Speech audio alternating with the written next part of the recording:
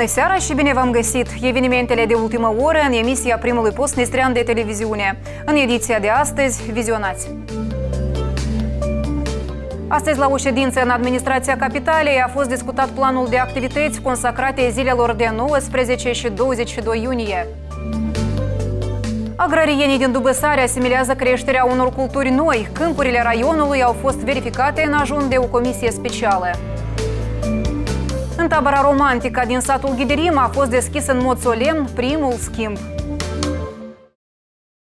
În Duma de Stat a Federației Ruse, delegația din Nistrenia a participat la o masă rotundă la tema Influența Ucrainei asupra dezvoltării situației în jurul Nistreniei. La activitate au fost prezenți parlamentari ruși, ambasadorul pentru misiuni speciale al Ministerului Afacerilor Externe al Federației Ruse Sergei Gubarev, de asemenea consilierul lui Vladimir Putin Sergei Glaziev. Ce întrebări au fost examinate la masă rotundă, ne-a comunicat vicepreședintele Sovietului Suprem al Republicii Moldovenești Nistrene, Galina Antiufeev. Au fost examinate întrebări actuale pentru noi. Ce daune va aduce instalarea posturilor moldo-ucrainene? Cum se va răsfrânge aceasta asupra cetățenilor noștri?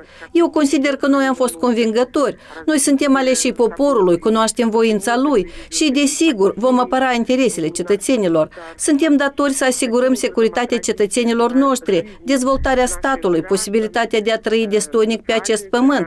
Noi am creat aceasta nu pentru că am dorit să cheltuim mijloace mijloacele statului, ci fiindcă ne-au impus politicienii Republicii Moldova. După agresiunea Moldovei, suntem datori să facem totul pentru a asigura securitatea cetățenilor care viețuiesc în Republica Moldovenească Nistreană. Este important să fim auziți, este important să venim nu numai pentru a vorbi la tema dată, însă în primul rând pentru a rezolva întrebări arzătoare.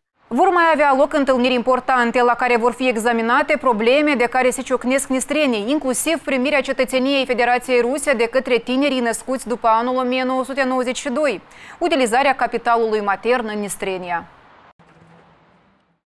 Astăzi, la o ședință în administrația capitalei, a fost discutat planul de activități dedicate zilelor de 19 și 22 iunie. În fața conducătorilor serviciilor responsabile au fost trasate sarcini organizatorice pentru a desfășura activitățile la cel mai înalt nivel. În a doua duminică a lunii iunie va fi marcată ziua profesională a lucrătorilor din industria ușoară. Tradițional în Parcul de Cultură și Odihnă Biruința, la 11 iunie, vor fi organizate multiple expoziții cu producția întreprinderilor autohtone. Un program vast va fi dedicat Zilei Rusiei, marcată la 12 iunie.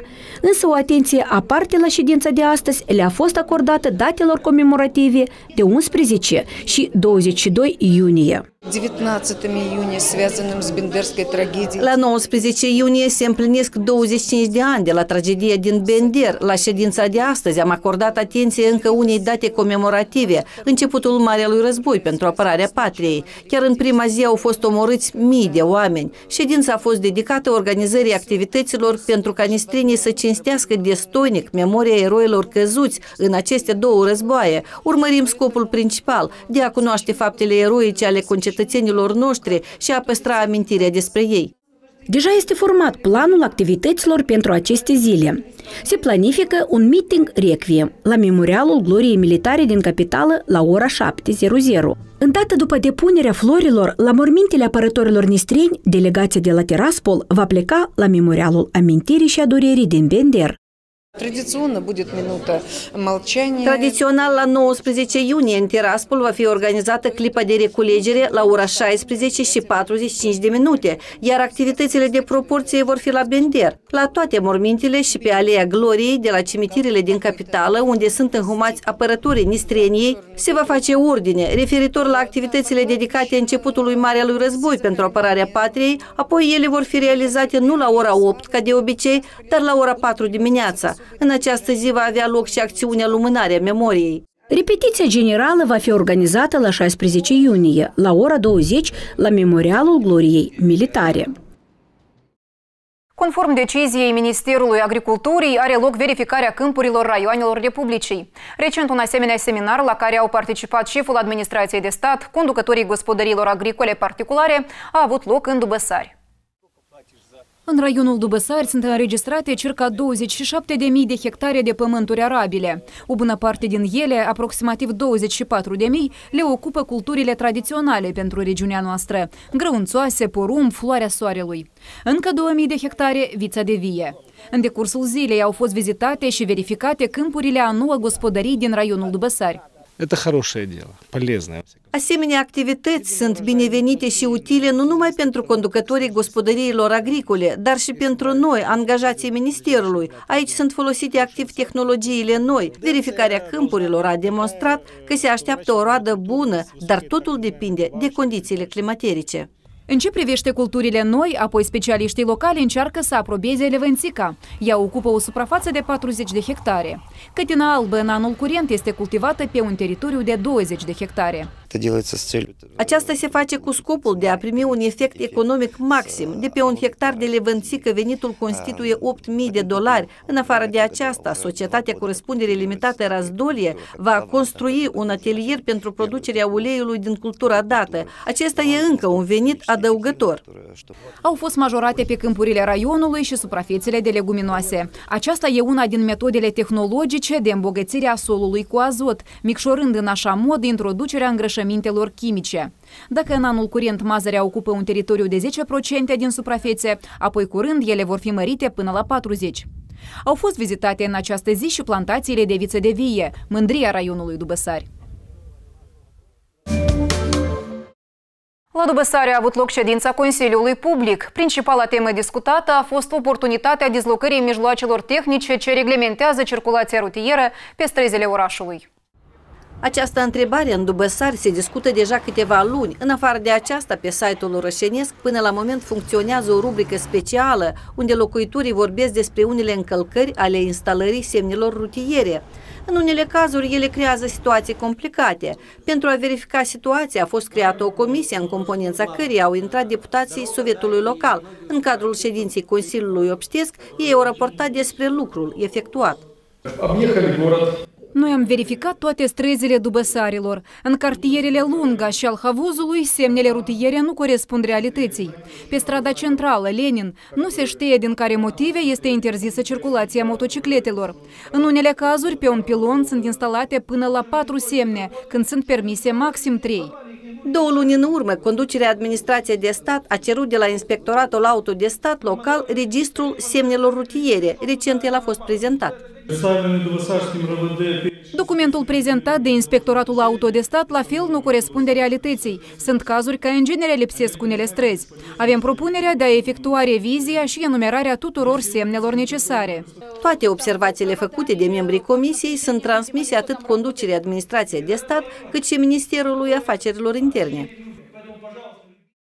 În tabăra romantică din satul Ghidirim a fost deschis în mod solemn primul schimb. Anual, pe terenul de asanare și odihnă, în timp de patru schimburi, se odihnesc circa 350 de copii. Detalii în continuare.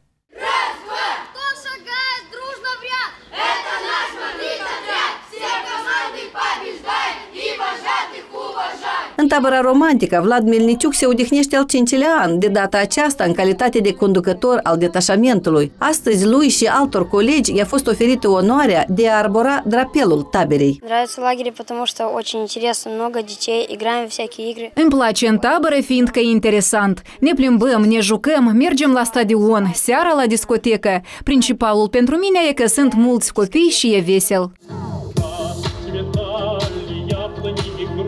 Anual, tabăra romantică funcționează în patru schimburi. Primele două săptămâni se vor odihni peste 50 de copii, majoritatea din raionul și orașul Râbnița, însă sunt solicitări și din Tiraspol. Tradițional, primul schimb este deschis cu un frumos program concertistic, concursuri vesele, distracții. Deviza noastră, ai mâncat singur, ajută-i prietenului. Am ales denumirea mâncăcioșii, fiindcă iubim bucatele gustoase. Suntem prietenoși. Le respectăm mult pe educatoarele noastre, ne ajutăm reciproc, marcăm vesel sărbătorile, jucăm fotbal, pionierbol. Terenul de asanare și odihnă pe care copiii se află non-stop este situat pe malul Nistrului. Pentru fiecare schimb este alcătuit un program vast și divers. Pentru copii este o posibilitate plăcută de a se odihni și a primi emoții pozitive. Сегодня лагерь может принять до 90 человек. Actualmente tabăra poate primi până la 90 de copii. Suntem asigurați cu inventarul necesar. Alimentația e bună de 5 ori în zi. Tabăra activează în patru schimburi, fiecare câte două săptămâni. Așteptăm copiii, locuri sunt. Avem un divers program distractiv, excursii, ieșiri la natură, concursuri, competiții sportive, etc. Ultimul schimb tradițional va fi organizat pentru copiii dotați. La Dubăsare a avut loc tradiționalul bal al steluțelor. La el participă elevii absolvenți ai claselor a patra de la școlile moldovenești din oraș și raion. Această activitate este un anumit bilanț al programului de învățământ studiat de către copii timp de patru ani. Micile vedete urmau să demonstreze cunoștințele acumulate în cadrul a trei nominalizări, artistică, literară și agerime. Prima etapă a balului a fost prezentarea. Elevii au povestit despre familia sa și care rezultate le-au obținut în procesul de învățământ. Printre cei nouă concursanți a fost și Iulia Pisari, eleva clasei a patra a școlii medii ruso-moldovenești numărul 7 din cartierul Lunga. Ea a ocupat locul premiant la Olimpiada Republicană la limba moldovenească.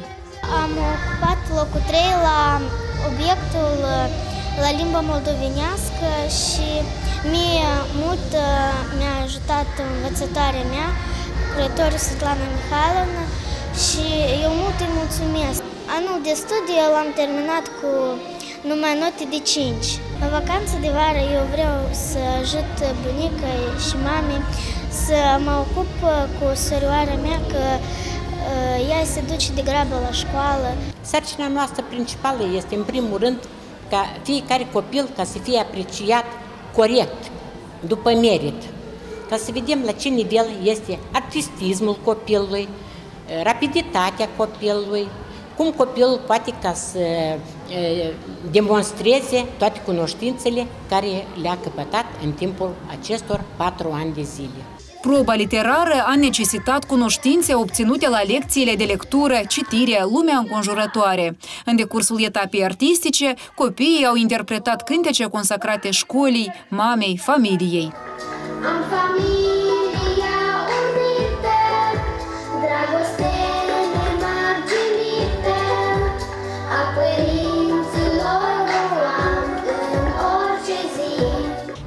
În primul rând, ca copiii, într-adevăr, să fie pregătiți, să, să vadă toate cunoștințele la obiectele de matematică, de limba moldovenească, obiectele de bază.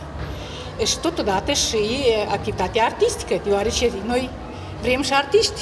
Elevii așteaptă cu mare e, plăcere ca să vină la această sărbătoare e, să prezinte ceea ce vor ei să facă.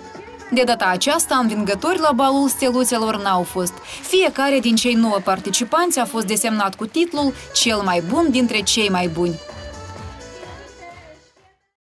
Atât pentru ediția de astăzi. Mai multe despre aceste și alte evenimente puteți afla în programul de seară al colegilor noștri. Iar noi vă dorim o zi bună în continuare tuturor. La revedere!